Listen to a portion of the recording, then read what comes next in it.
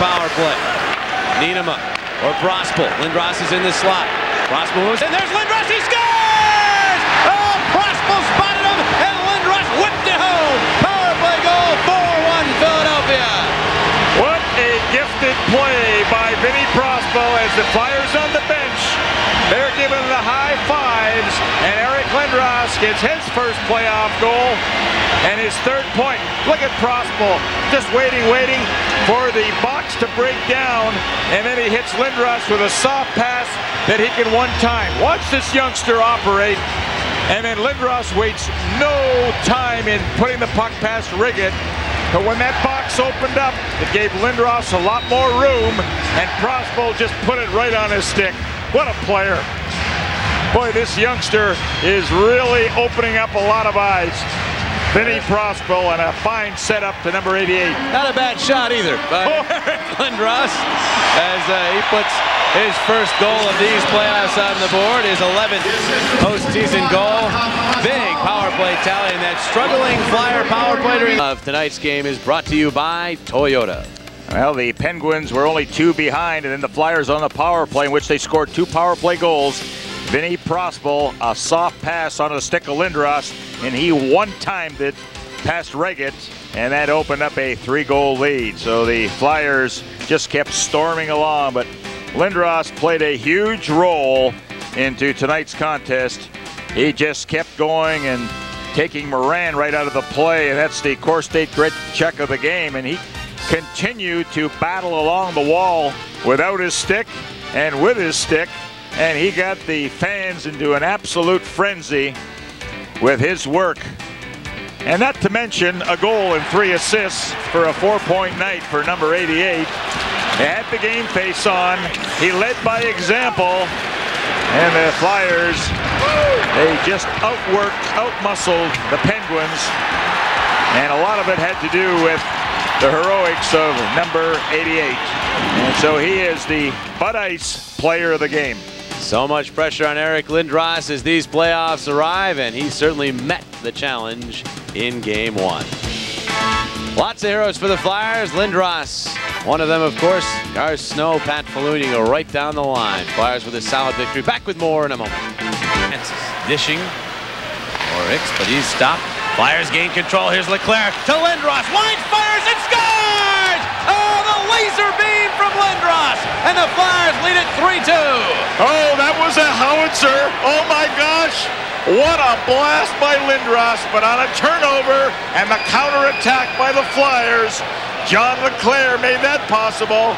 So perhaps that line matchup, well, obviously did not work for Craig Patrick. But just now in the turnover, and immediately Renberg gets it up ice, two on one. And a perfect pass sets up this blast. Ken Wregget can't stop them all. And he never even moved on that one until it was past him. LeClair and Renberg get assists. Renberg a three-point night, which ties a career high in the playoffs for him. Now Lindros now has a goal and a helper in the game. Are the line. Lindros line will start for the Flyers. It'll be Peter Nedved, Joe Beranek, and Ed Olczyk. That is the second line for the Penguins. Crowd is roaring, ready for this one, and the Flyers control. Yanni Niinimaa to Peter Svoboda. Back to Niinimaa, who has three assists in this series. Leaves the Flyers with a plus three. Chips the puck deep into the zone. Renberg digs it free. Renberg in front. Lindros shot save. Rebound. He scores! 14 seconds into the game.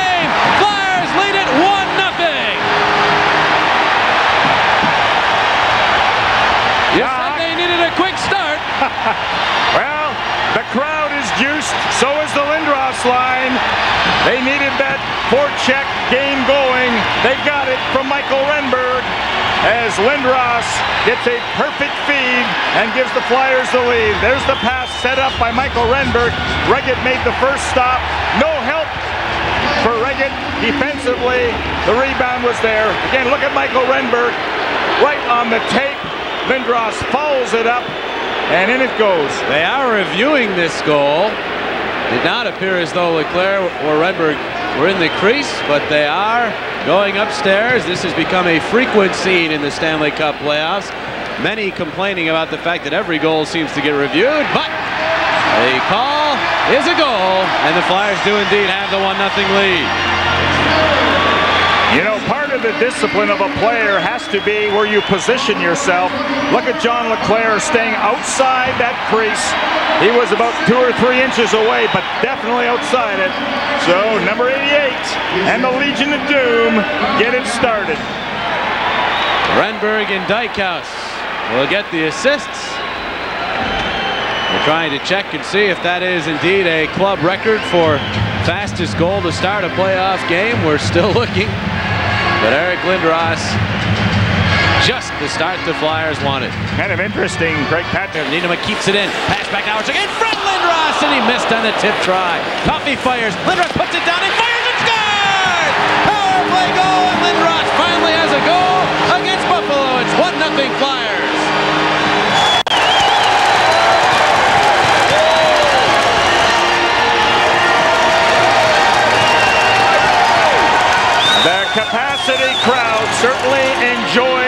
The power play by the Flyers. First Lindros, an opportunity in front of the net for the deflection. He stays there. Now stop it right there. Look at all the room Lindros has. The two closest men are quite a ways away from him. He can turn around and fire it. With Shields a lot uh, down, he had committed early, so Lindros had a lot more room. Watch Shields now. This is the first one.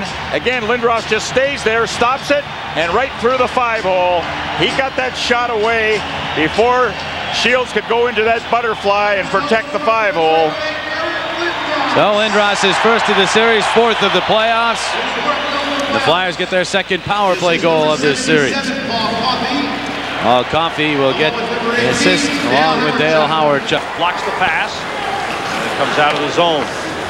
Shannon pokes at it. Here comes Lindros to the net. Lindros scores!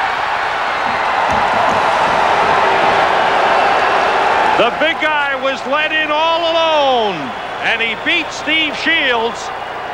And the Flyers now have a 2-0 lead. Well, there was some confusion with Buffalo making a change. They had too many men on the ice. They didn't want to get caught. So one player went off, and that allowed the chance.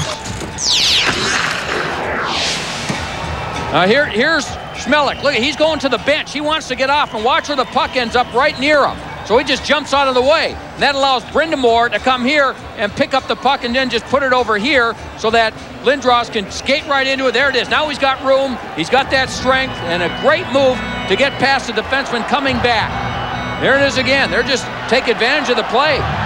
Rod Brind'Amour just reaching out with his stick to poke the puck. And then Lindros does the, does the rest. Great play by Brind'Amour.